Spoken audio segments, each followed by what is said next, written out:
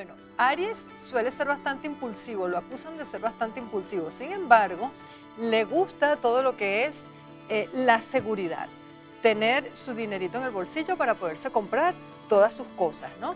Y le gusta em, que haya una cierta estabilidad. Ellos toman la iniciativa, pero después le gusta sentirse tranquilos y llegar a la casa, por ejemplo, y sentarse en un sofá bien cómodo eh, y ver televisión. Y algo que le encanta a Aries, por ejemplo, es ponerse una mochila en la espalda y salir a viajar de mochilero y conocer el mundo.